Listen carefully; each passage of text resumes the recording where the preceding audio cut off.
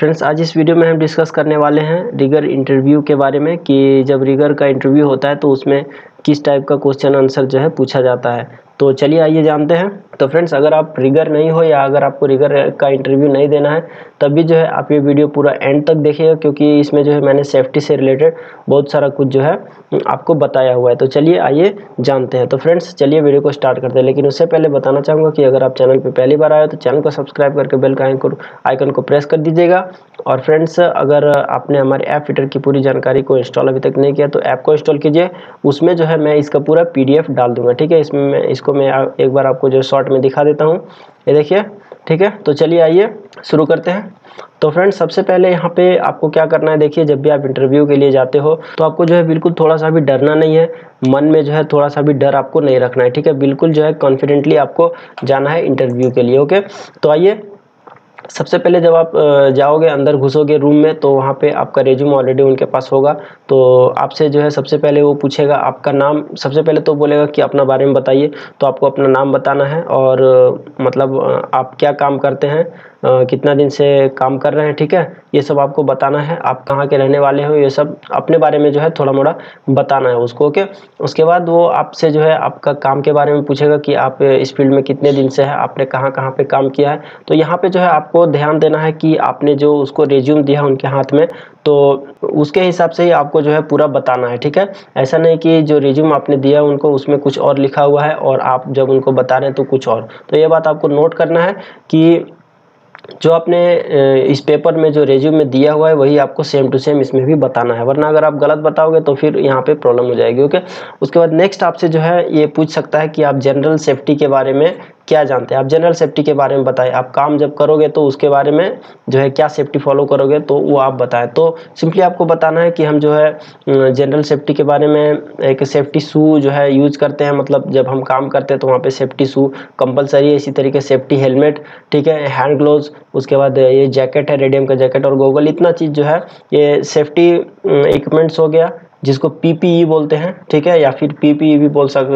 पूछ सकता है कि पीपीई के बारे में आपको क्या जानकारी है? तो यही हो गया पीपीई मतलब पर्सनल प्रोटेक्टिव इक्विपमेंट मतलब सेफ्टी के बारे में आपको उन्हें बताना है, क्योंकि सेफ्टी जो है बहुत ही इंपॉर्टेंट है ओके उसके बाद आपसे वो पूछ सकते हैं कि आप हाइट में काम करते हैं या नहीं तो आप उनको आंसर देंगे, करता हूँ ओके तो वो पूछेगा कि हाइट सेफ्टी के बारे में आप कुछ बताएँ हाइट सेफ्टी के बारे में आपको क्या इन्फॉर्मेशन है, क्या जानकारी है? तो आपको बताना है कि मिनिमम जो हम सेफ्टी बेल्ट यूज़ करते हैं 1.8 मीटर के हाइट पे जो है हम सेफ्टी बेल्ट का यूज़ करते हैं, ठीक है? इसी तरीके से, इसी तरीके इसको बोलते हैं फॉल अरेस्टर ठीक है? रिट्रैक्टेबल फॉल अरेस्टर तो ये सब भी आपको जो है बताना है कि हम हाइट पर जब काम करते हैं तो हमें जो है फॉल अरेस्टर का यूज़ जो है करना चाहिए। इसी तरीके से ये भी एक फॉल अरेस्टर है, ये रोप में डाला जाता है, ठीक है तो ये सब के बारे में भी बताना है आपको। और इसी तरीके से आप लाइफ लाइन में जो है जहाँ पे मान लीजिए कोई सेफ्टी बेल्ट वगैरह अगर वहाँ पे हुक करने का जगह नहीं तो इस तरीके का लाइफ लाइन जो है यूज़ करते हैं। तो ये सब बेसिक जो है आपको हाइट के बारे में बताना है ओके ताकि उनको जो आइडिया लग सके कि आपको क्या मालूम है, क्या नहीं ओके तो उसके बाद आइए, आगे देखते हैं। तो नेक्स्ट है हमारा यहाँ पे रिस्पॉन्सिबिलिटी ऑफ़ रीगर मतलब आप रीगर हो तो आपका क्या जिम्मेवारी बनता है, ठीक है? तो आपका जिम्मेवारी ये है कि identify the weight of load मतलब कि जब भी आप कोई मटेरियल उठाने वाले हो तो उसका जो वेट है, वो आपको पता कर लेना है पहले कि इसका वेट कितना है, वो हिसाब से हमारा क्रेन का कैपेसिटी है या नहीं। ऐसा नहीं कि हमने यहाँ पे 50 टन का माल उठा दिया और क्रेन उतना का नहीं है। तो ये आपको जो है पहले आइडेंटिफाई कर लेना है कि जो हम मटेरियल उठा रहे हैं, उसका कितना वेट है ओके उसके बाद है इंस्पेक्शन ऑफ़ लिफ्टिंग टूल्स तो जो जो जितने भी टूल्स हो गया, जैसे डिसाइकल हो गया सीलिंग हो गया, इसी तरीके से रोप हो गया तो ये सब का जो इंस्पेक्शन है, वो आपको करना है, वो आपको देखना है कि इसमें कुछ गड़बड़ी है क्या, इसमें कटा फटा तो नहीं है तो वो सब जो है, आपको चेक करना है, इसका जो चेकलिस्ट होता है, वो आपको रेडी करना है ओके उसके बाद थर्ड है हमारा right selection of the lifting tools मतलब कि जहाँ पे जो टूल रिक्वायर है, उसको ही यूज़ करना है, ठीक है? जैसे कि यहाँ पे एग्ज़ाम्पल मैं देता हूँ, मान लीजिए ये कोई पाइप है ओके ठीक है तो इसको उठाना है तो इसमें हम यहाँ पे सीलिंग लगा के उठाएँगे वेब सीलिंग ठीक है? तो यहाँ पे बहुत सारे लोग क्या करेंगे बेल्ट को जो है बेल्ट में ही फंसा के और इसको उठा देंगे। लेकिन ऐसा नहीं करना है आपको। आपको क्या करना है? यहाँ पे ऐसे बेल्ट लगाने के बाद यहाँ पे आपको एक डिसाइकल मारना है, ठीक है? तो वो हो गया right selection of the lifting tools मतलब कि शॉर्टकट आपको नहीं आजमाना है, जहाँ पे जिसका यूज़ है वो आपको करना है ओके बाद आइडेंटिफाई द एंड प्रिकॉशंस ठीक है? जब आप इरेक्शन कहीं पर कर रहे हो या क्रेन से काम कर रहे हो तो वहाँ पे आपको जो हजार्डस है मतलब कि जो खतरा है, वो आपको देखना है और ख़तरा ना हो, इसके पहले आपको उसका मतलब प्रिकॉशन करना है मतलब उसका प्लानिंग करना है ओके तो ये सब आपका रिस्पॉन्सिबिलिटी हो गया एज ए रिगर ये आपसे पूछ सकता है ओके उसके बाद आपसे पूछ सकता है कि रिगिंग और लिफ्टिंग के बारे में आप कुछ बताइए, ठीक है? तो उनको बेसिकली बताना है रिगिंग मतलब हो गया रिगर तो रिगर का क्या काम होता है बेसिकली तो काम यही है कि कोई भी मटेरियल है, उनको जो है उसको जो है सिक्योरली एक जगह से दूसरी जगह लेके जाना या उसको अगर उठाना है तो सिक्योरली जो है उसको लिफ्ट करना है सिक्योरली उठाना है, ठीक है? उसके बाद उसको कंट्रोल करना है कि ऊपर में जाके कहीं पर वो मतलब लड़े नहीं। तो इस तरीके से आपको बताना है, ठीक है? मतलब जो एक रिगर का जो काम होता है, वो आपको आपको इस तरीके से बताना है ओके तो नेक्स्ट है हमारे यहाँ पे तो आइए नेक्स्ट देखते हैं। ठीक है तो नेक्स्ट है टाइप्स ऑफ़ रिगर मतलब पूछ सकते हैं कि रिगर कितने टाइप्स के होते हैं।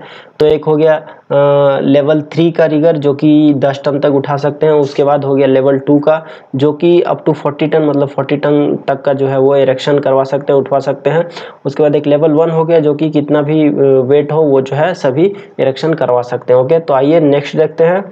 तो नेक्स्ट है हमारे पास यहाँ पे टाइप्स ऑफ़ लिफ्टिंग टूल मतलब लिफ्टिंग टूल कितने तरह के होते हैं। ओके तो देखिए, पहला हो गया हमारे यहाँ पे, हमारे पास यहाँ पे वायर रोप ठीक है, इसको वायर रोप बोलते हैं, उसके बाद है वेब सीलिंग ये देख सकते हैं, इसको वेब सीलिंग बोलते हैं बेल्ट को। ठीक है, उसके बाद नेक्स्ट है हमारे पास यहाँ पे डी साइकिल और उसके बाद यहाँ पे बो साइकिल देखिए बो साइकिल का जो ये जो होल है, वो थोड़ा बड़ा है, ठीक है? तो इसको बो सेकल बोलते हैं, इसको डी सेकल बोलते हैं ओके नेक्स्ट हमारे पास यहाँ पे चेन सीलिंग इसको चेन सीलिंग बोलते हैं। ये उसके बाद इसको लिफ्टिंग क्लैम्प बोलते हैं। आपको मतलब ये फ़ोटो दिखा के और पूछ सकता है कि इनका नाम क्या है, ये सब का नाम बताइए। तो इसलिए मैं यहाँ पे नाम और उसका फ़ोटो दोनों यहाँ पे लगा दिया इसको इसको बोलते हैं चैन ब्लॉक ठीक है?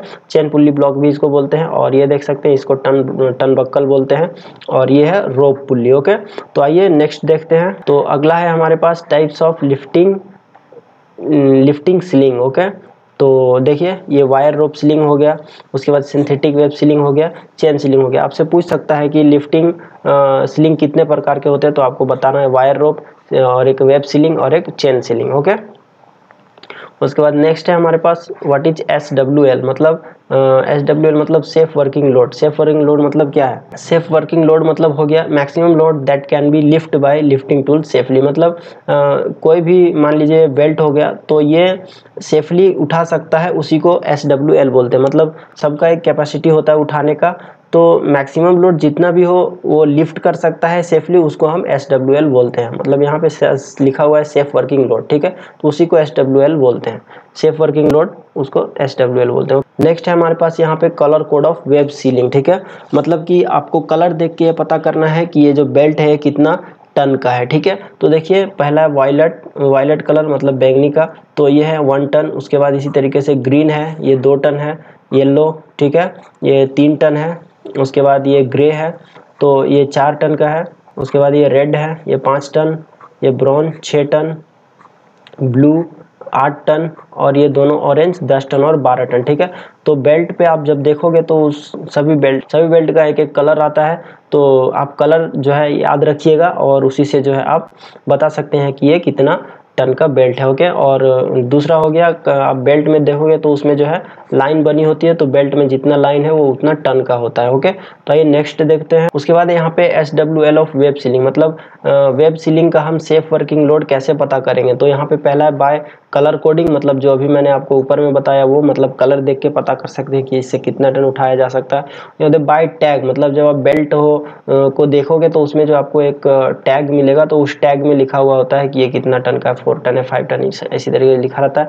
तीसरा है बाय लाइन मतलब कि लाइन देख के भी आप पता कर सकते हो बेल्ट में आपको लाइन मिलेगा, जितना लाइन है उतना टन का बेल्ट होता है ओके तो आइए नेक्स्ट देखते हैं। उसके बाद यहाँ पे नेक्स्ट है how much load can be lift by web sling of one ton ठीक है? टन मतलब एक टन का सीलिंग से आप कितना लोड उठा सकते हैं, ठीक है?